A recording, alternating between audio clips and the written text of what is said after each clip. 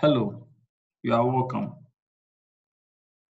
In this session, we are going to look at how to approve a project in SAP project systems. The SAP system acknowledges authority levels. By virtue of one's role, there can be limitations on activities that can be performed in the system. So in our case, a role with less authorization access created the project structure, and a role with a higher authorization access is going to approve the project structure that has been created. To approve a project structure, we first have to open into the project builder, which we already have. We then select the projects which we intend to approve its structures. Can choose to expand or to see the various elements under the project definition. Now under status, we have system status and user status.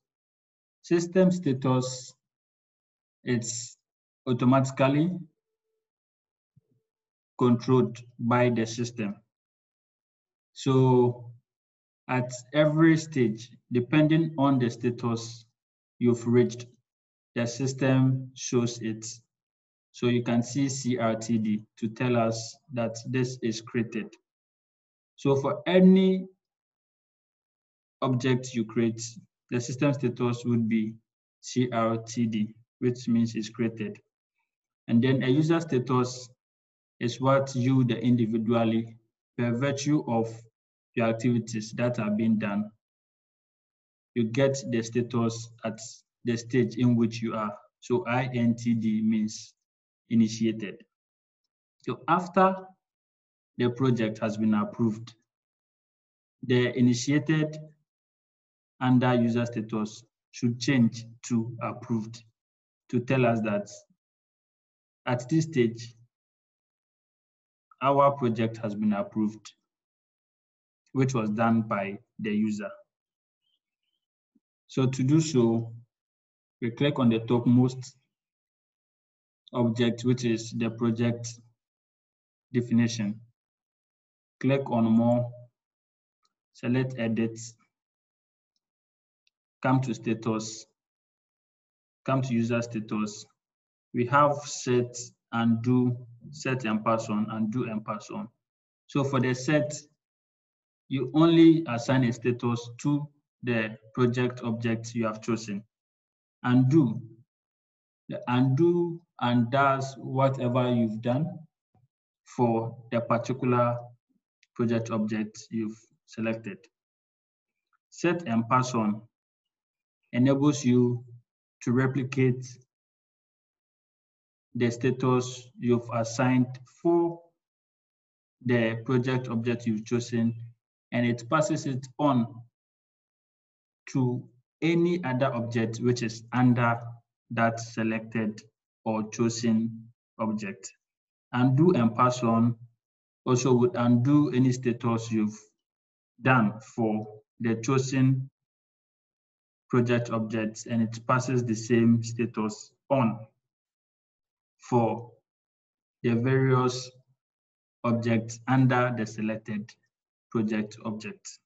So in this case, since we want to assign the approved user status. We click select, set and pass on. Over here, we have various statuses. And this could be selected at different stages by virtue of the authorization level and authorization access. This case, since our authorization is the highest, have the option to approved straight. So we click on approved. So over here, can see the green symbol attached to the various elements. And then we have the information user status APPR, which is approved set. So this green symbol tells us that our user status assignment approved is successful. Click on continue. And then over here, we can now see that user status has changed from INTD to APPR. So this tells us that our project has been approved. When you click on any of the project objects, you would also realize that we have the same approved for user status because of the set and pass on we did. After that, we save our project. This brings us to the end of approving project structure in SAP project systems. See you in our next session.